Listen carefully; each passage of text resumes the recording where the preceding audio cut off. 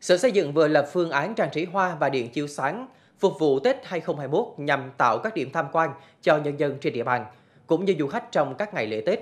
Dự kiến tổng kinh phí đầu tư trang trí hoa và điện chiếu sáng phục vụ Tết năm nay hơn 11 tỷ đồng, bằng nguồn vốn ngân sách và kêu gọi xã hội hóa. Phương án thiết kế và tổ chức thi công trang trí hoa, điện chiếu sáng đều thực hiện theo phương châm tiết kiệm tại một số tuyến đường trung tâm, công viên và một số khu vực điểm nhấn, cửa ngõ ra vào thành phố. Nội dung thực hiện trang trí là những hình ảnh về phong cảnh, quê hương đất nước con người. Điện chiếu sáng được trang trí theo nhiều hình dạng như chữ số 2021 cách điệu, các dải cây bố trí quấn điện led màu trắng và màu vàng trung tính, trụ đèn lan can dọc sông bố trí quấn dây đèn led, các tượng khu vườn, cây bố trí đèn chiếu hắt.